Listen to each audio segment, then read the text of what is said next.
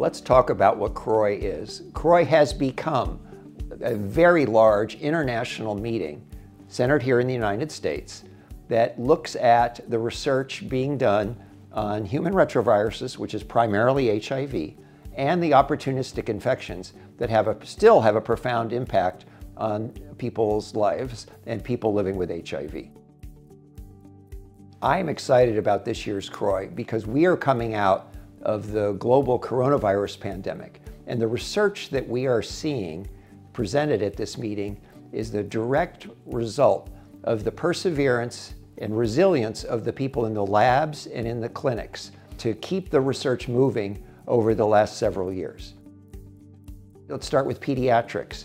There's a cure-based study looking at the use of antiretroviral therapy um, in babies uh, initiating as close to birth as possible.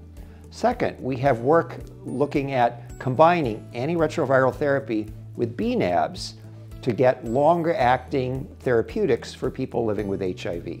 Third is we are looking at treatments for important comorbidities, particularly liver disease and heart disease. We're looking at the safety of the dapivirine ring throughout the pregnant period for pregnant people. And last but certainly not least is new data emerging on doxypep, which is essential for us as a nation to be dealing with the syphilis epidemic.